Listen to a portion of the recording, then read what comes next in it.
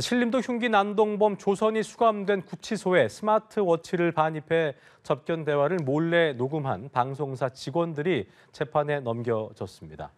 수원지검 안양지청이 형의 집행 및 어, 수용자 처우에 관한 법률 위반 혐의로 국내 모 방송사 직원 A씨와 B씨를 각각 불구속 기소했다고 밝혔습니다. A씨와 B씨는 지난해 8월 경기 의왕시 서울구치소에서 조선과 그의 지인이 만난 접견 장소에 녹음 기능이 켜진 스마트워치를 일부러 두고 나와 그들의 대화 내용을 녹음한 혐의를 받고 있습니다. B씨는 조선이 자신의 접견을 거부하자 이 같은 범행을 했고 그가 두고 간 스마트워치는 구치소 직원들에게 발견됐습니다.